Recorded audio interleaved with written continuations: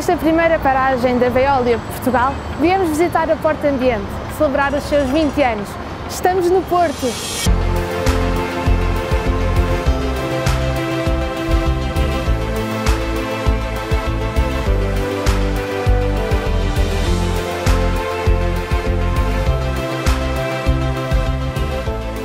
Bom dia, Bom dia, como está? tudo bem? Bem, obrigado. Olha, antes de mais, muitos parabéns. Muito 20 obrigado. anos de Porta Ambiente. É Ainda verdade. se lembra desse primeiro dia? Sim, foi um dia muito especial, temos boas memórias, eh, mas eh, ao longo do nosso historial tivemos várias datas marcantes. Eh, e tudo começou em 1992, quando a Lipor abriu um concurso público internacional para a concessão, construção e operação de uma central de valoração energética. Em final de 1996, a Lipor assinou o contrato com o consórcio vencedor, constituído por duas empresas francesas, a CNIM para a parte da construção e a Dalkia, mais tarde Veolia, para a parte da operação. O primeiro acendimento das caldeiras, uma data muito marcante, foi no verão de 1999. Eh, ensaios de rendimento e marcha industrial eh, foram concluídos no final desse mesmo ano. Porque no dia 4 de janeiro, e assim também uma data muito marcante para a Porta Ambiente e para a Veolia, teve início o período eh, da exploração da instalação. Dia 4. E finalmente, no dia 3 de março Está de aqui. 2000, eh, e está aqui a placa que mostra eh, A assinalar essa, a data. assinalar essa data, foi a data da inauguração oficial da instalação. Muito bem. Eu eu estou super curiosa para, para conhecer aqui. Posso convidá-la a fazer uma visita, mas antes de mais, Diga. regras de segurança. Sim, É preciso, é país, estão aqui.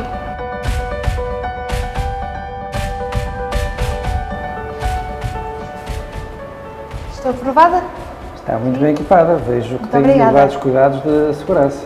É verdade. Segurança em primeiro lugar, sempre. Sempre. E vai ter eh, um colaborador da Porta Ambiente a acompanhá-la em cada Ok. local. Muito obrigada. Perfeito. Até, Até já. Até já.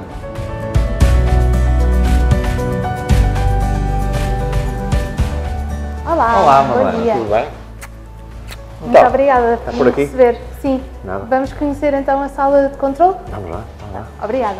Vamos por aqui. Depois desta porta temos a nossa sala de Uau. controle da central. Uau. Então, aqui nesta sala de controle é o coração da nossa central. Portanto, é aqui onde nós controlamos, monitorizamos todos os parâmetros de funcionamento da- Sim. da- da- de toda a central.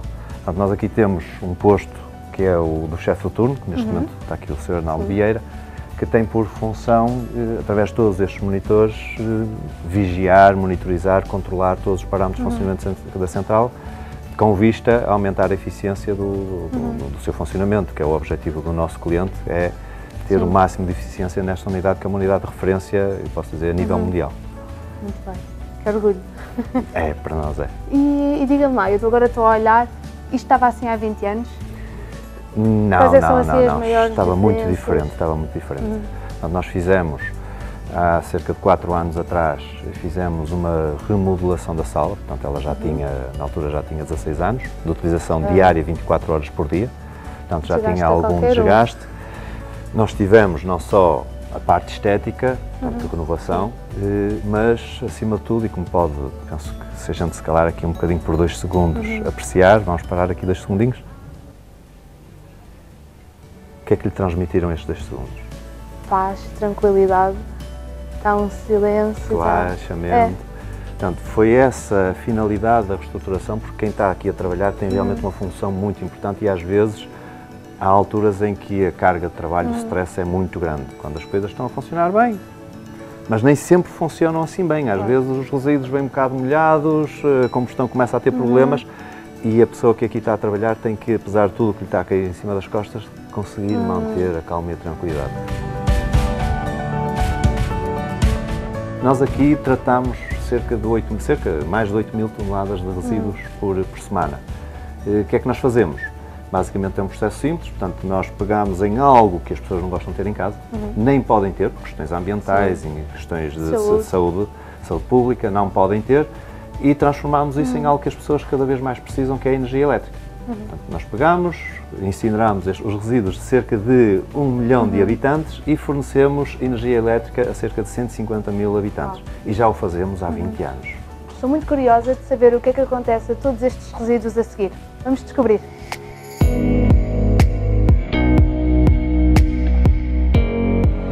Olá, Madalena.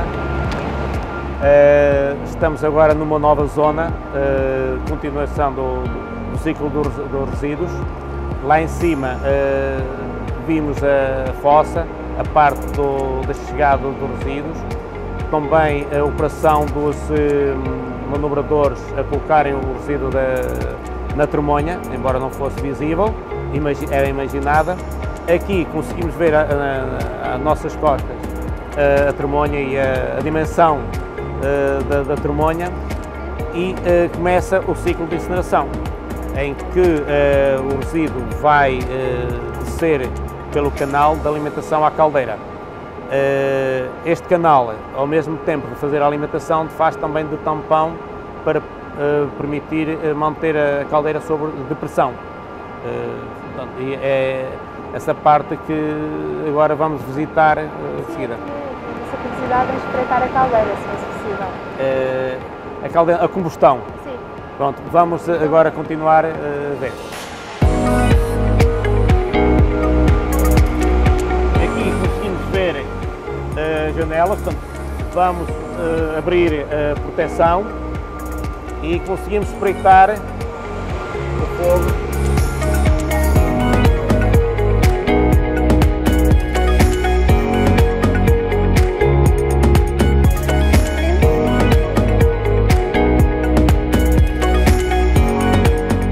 agora ver uh, a sala do Turbogrupo, onde o, o vapor uh, produzido pelas duas caldeiras é canalizado uh, para o Turbogrupo, a turbina, a parte da turbina, que por sua vez vai acionar um alternador que é no fundo o gerador que produz a energia elétrica e daí a conversão do resíduo em energia elétrica. Madalena, aqui vamos entrar numa zona ruidosa, onde é obrigatório o uso de protetores, proteção auricular. Aqui ao lado esquerdo tem um dispensador, a Madalena chega lá e, e coloca. Eu vou já colocar os meus, está bem?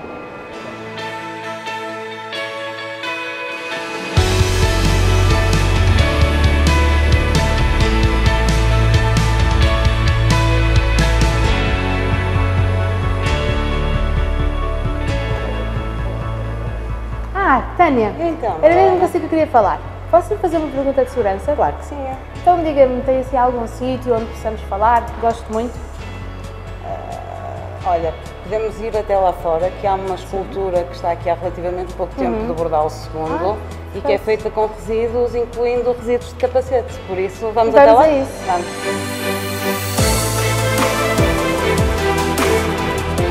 Há mais de dois anos que não há acidentes aqui na Porta Ambiente. Qual é que é o vosso segredo, conselhos que tenham? Como é que fizeram isto possível? Uh, isto é um trabalho de muito envolvimento de toda a gente, desde a parte da, da direção até à parte de, de todos os colaboradores.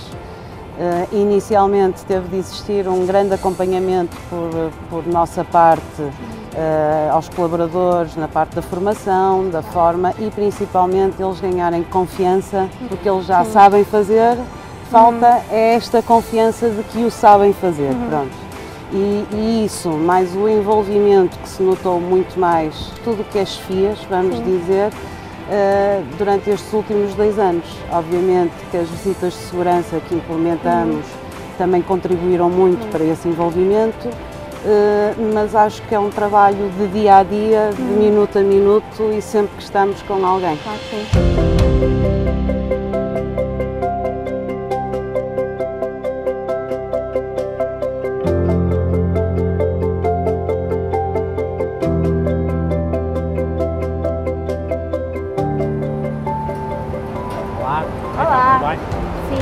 Então, estamos no final do processo. Estamos no final do processo. Nós, eh, depois de, do, da valorização dos resíduos, eh, eles fizeram todo o seu percurso, forneceram toda a energia que tinham para fornecer. Com essa energia nós produzimos a eletricidade e, e, no final da linha temos aqui os resíduos em que diminuíram em 10 vezes o seu volume. Portanto, temos agora um material que não tem odor, uh, que está praticamente inerte e facilmente depositável em qualquer aterro com toda a segurança. Okay. E então e essa eletricidade? O que é que lhe acontece? A eletricidade que nós produzimos uh, tem dois destinos uh, principais. O primeiro é, desde logo, uh, o funcionamento da instalação. Esta instalação é totalmente autónoma do ponto de vista da energia, portanto, todos os equipamentos, todas as máquinas que vê são alimentadas com a energia que nós produzimos, mas produzimos muito mais. Nós exportamos energia que alimenta uma cidade com 150 Uau. mil habitantes. Hum. É. Sim. Agora estava aqui a reparar na chaminé, as pessoas identificam muito isto com, com as chaminés, no fundo. Qual é que é o seu impacto, o seu papel? Pois, a, a chaminé é aquele órgão mais visível do exterior, Exato. não é? E as pessoas habituaram-se a associar a chaminé à poluição. Quando, quando há uma chaminé, eh, saem fumos negros, sai a poluição, tudo o que é de mau. Uh, efetivamente, na nossa, na nossa indústria, na, na valorização energética, uh, os, as, as, as, normas de emissão, os valores limite que nós estamos obrigados a cumprir todo o dia, todos os dias, a toda hora, são muito, muito baixos. E, portanto, a chaminé, estás a ver hoje, podemos ver, Sim. não tem nenhum rastro de, de, de fumo Sim, e nos dias mais frios, isto é uma curiosidade, nos dias mais frios vê-se uma coisa branca que as pessoas pensam Sim. que é fumo, mas não, é vapor d'água.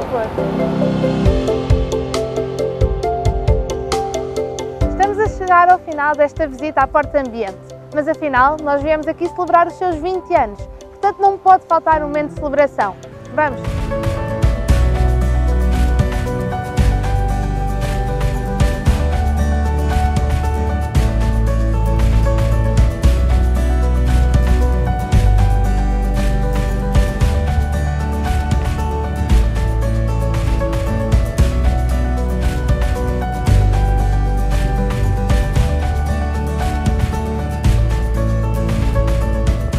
Curioso preparar o futuro, porque enquanto embaixador Satalad, também estamos aqui a preparar o futuro digital. O que é que significa ser embaixador Satalad aqui na Porta Ambiente? A minha função aqui é fazer com que as pessoas acreditem, porque eu também acredito, que é uma mudança para melhor, portanto, que é uma mudança, uma, vai ser uma mais-valia, uma coisa positiva, portanto, é essa a minha, a minha função. Claro que sim. Muito boa sorte.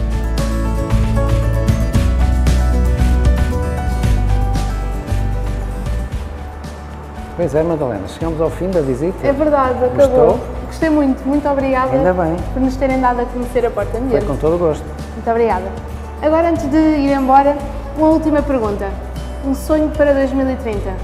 Gostaríamos de manter a instalação sempre uh, com alto uhum. grau de eficiência. Uh, gostaríamos de a manter sempre muito modernizada, o mais uhum. possível.